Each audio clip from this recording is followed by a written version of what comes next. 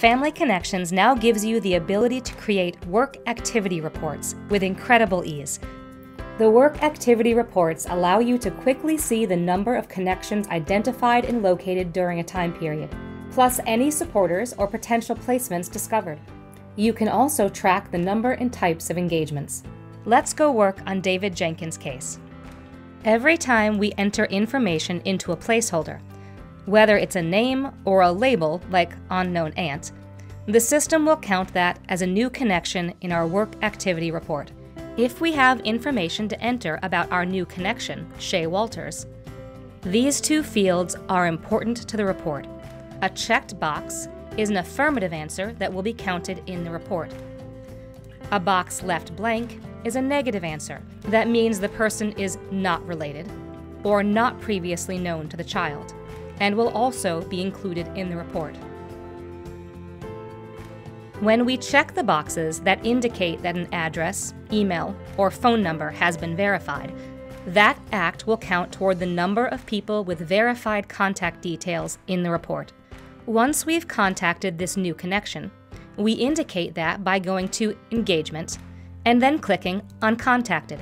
This initial contact will now also be included in our work activity report. As soon as we click on Contacted, a date and timestamp appears.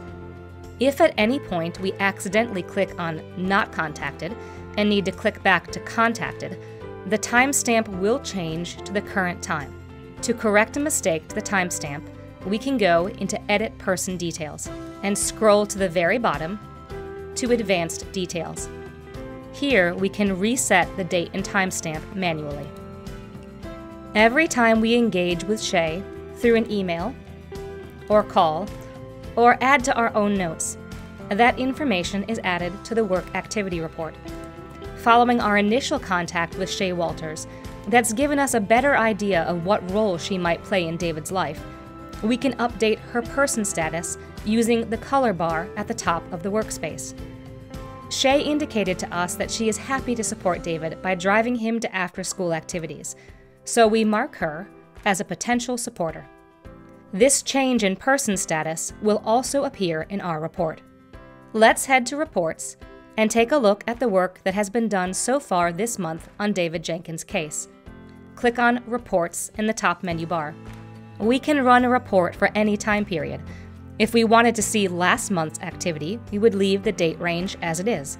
But today we're interested in seeing the work activity for the month of November so we set the date range to November 1st through November 21st. Then we click on the Download button next to David's name. This creates a CSV file that can be opened in Excel or a similar spreadsheet program.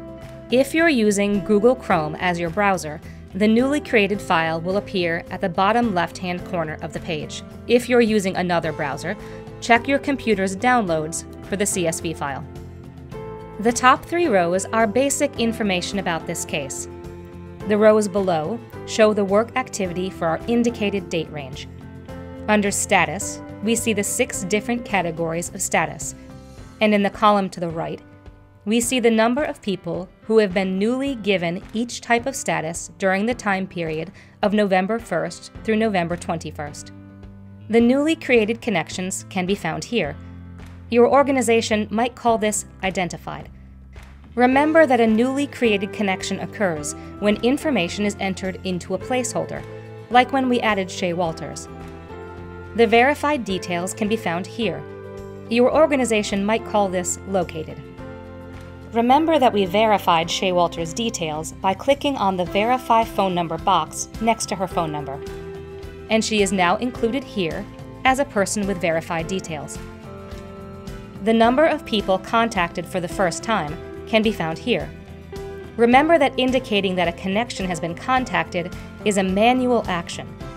If we forgot to click on Contacted and don't see a date and timestamp beneath the Contacted button, that information will not be included in the report. Finally, the number and types of engagements can be found here. Looking to the right, the first column of data is for all people for this time period, we identified two potential supporters of David and two potential placements. We created 14 connections, and were able to verify the contact information of eight people. We logged notes three times, calls seven times, and emails two times. The remaining columns to the right break down further the all people information into two main categories all relatives and all non relatives. Each of those categories has two subcategories previously known to child and not previously known to child. Remember, we indicated whether a person was previously known to the child when we checked the boxes in the person's details section.